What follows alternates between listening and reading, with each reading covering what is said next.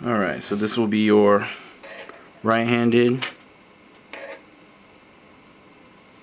one-handed ties. Like I said, this is really rare if the attending asks you to tie and you have to tie, do a one-handed tie, but this video is more for people who are left-handed.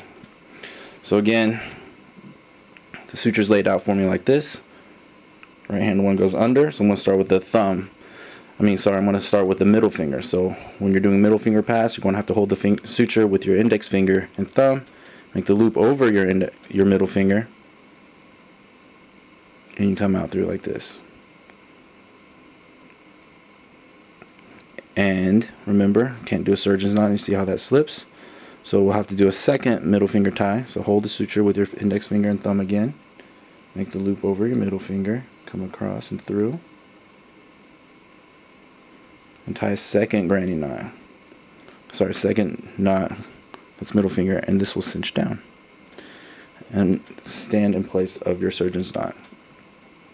Now, go back to your index finger because you just did two middle fingers. So if you're doing index finger ties, hold the suture with your thumb and middle finger.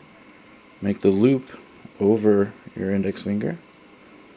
Next finger pulls it to the other side. Try to lay your knots flat.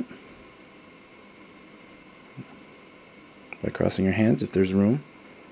Same thing here. Oh, sorry. What am I doing? Middle finger and thumb to do an index finger throw. Cross it over. Middle finger cross, through, out. Always keep your fingers close. Push your knots down. Equal tension, otherwise you'll tie half hitches, which we'll talk about in the next video. Alright. Test the knot. Doesn't slip, it breaks before the knot slips.